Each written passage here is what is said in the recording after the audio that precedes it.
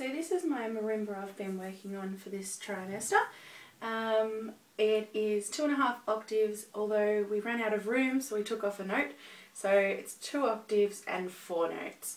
Um, so it goes from C right through to F. Um, I'll just play C major so you can hear what it sounds like.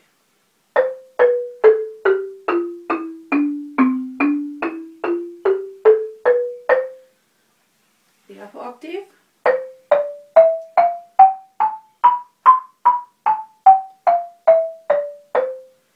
Top four notes. And the lower octave. Uh, this one doesn't seem to ring as well on the phone. Um,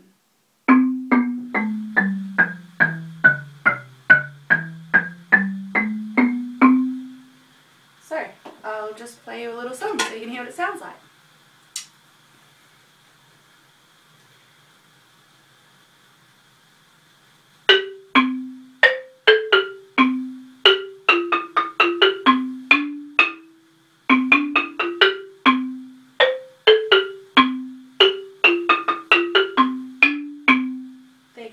I remember.